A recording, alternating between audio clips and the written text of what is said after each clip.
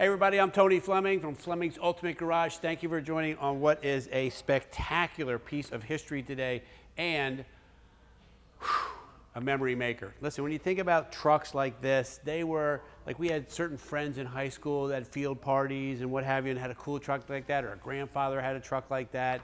Uh, maybe you had one back in the day and life has changed a little bit. Now, uh, you know, you had a place where you could finally get something, and this is exactly the way you'd want to get it. Why is that that way? Well, because it gives you this old school look, right? The old school style, like when you're going down the road, how great this looks, right? Second, it gives you modern components inside. We're going to take a look and see what does modern components really mean. Well, what modern components really means is a little more reliability. It doesn't matter whether it's hot or cold outside. It's got fuel injection to start, right? It's got air conditioning with modern air conditioning and modern heat lots of other great stuff. Let's take a few minutes, but the first thing we need to do is talk about the ridiculously deep tuxedo black paint. All right, so I'd like to talk about paint for a reason here because what, what you don't understand is probably you and I could paint a vehicle. You say, Tone, I've never painted a vehicle in my life. Well, it's not super complicated in painting. I'm not saying we would be good at it, but we could paint. What we can't do is what goes on underneath the paint, and that's the effort that goes in, especially a black truck. When you have long panels like this, they need to be worked properly. And here's how you'll know that I'm right when I say this. You ever fixed a nail hole at home? You went ahead and give a quick little scuff to the, to the stuff you put inside, right? Uh, a little plaster there, scuff, and then you paint, and you come back in about an hour or two, and you can still see the terrible work that you did, right? It's about the effort in. And if you're going to make something like this shine, it's all underneath the metal okay? This right here, the metal is really, really nice. Not to mention most of the components in here are new. This cowl hood looks so right at home here, right? You couldn't get a 69 pickup with a cowl hood, but they make it for these. Why? This is a real deal steel hood. Why do they make it for these? Because it looks great. All right, lastly, I talk about quality paint all the time. I want to share with you real quick. You need to be able to see every detail, every letter, every little piece in this painting, uh, paint here. And so that's what I like you to do, just to focus on because pictures can make anything look shiny. The video will show us the way.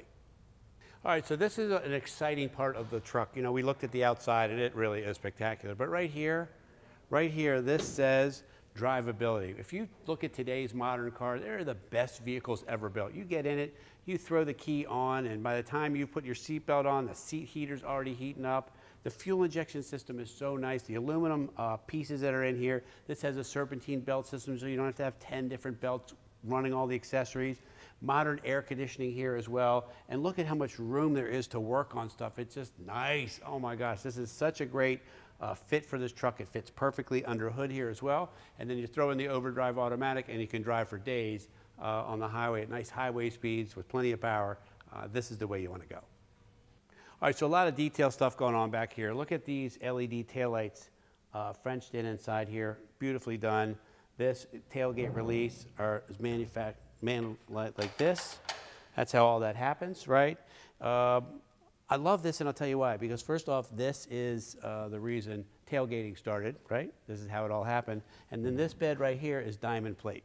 And so you say, well, so that's nice that it's diamond plate, so what? You're absolutely right, so what? But it's detail stuff like this, stainless steel bolts that are around here. And they say, well, Tone, who cares about stainless steel bolts? What does it matter? It's not just stainless steel bolts, it's the detail that somebody said, when I'm doing this, I'm gonna put the very best of the best parts in here, and that's what they did. So they rhino lined up to here to make it nice and uh, protected.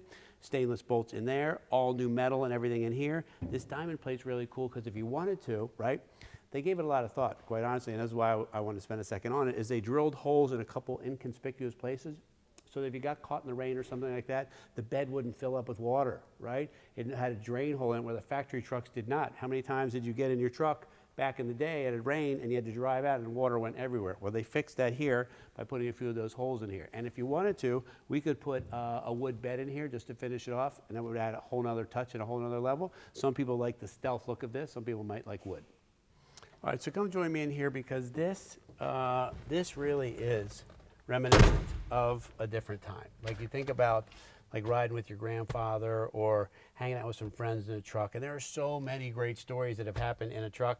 God knows a, a million country songs have been sung about it, which is, which is a great place to be. And then I like to say I'm a little bit older now and like I need a little bit more. I need a little couple upgrades. And this has modern heat and air conditioning. It has an upgraded digital sound system where you can stream your music to uh, Uh, from your phone to here. Uh, it has satellite radio. This has a full custom dash in it with nice bright gauges for people who can't see anything, right?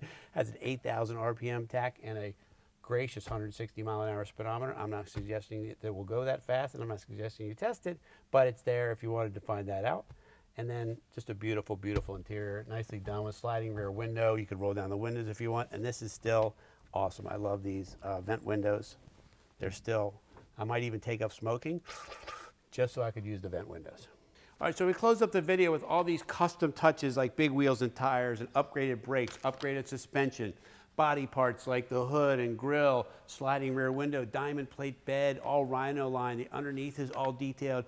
You would, you would spend two years building this truck and probably twice as much as what it's, uh, what it's selling for right now to get the same product. That's why these are so great, man. You let somebody else restore it, let them drive it for just a little bit, and you still end up with a wonderful, wonderful piece like this, right, for, for a lot less money. Anyway, call us 301 816 1000. We'll talk a little more about this piece of history, this piece of collector truck, and how great it could look in your garage. Don't forget to share, if you would, uh, the video with some friends. If you would like it down there at the bottom of that button okay? And uh, subscribe to the channel and keep getting the feed from all these cool videos.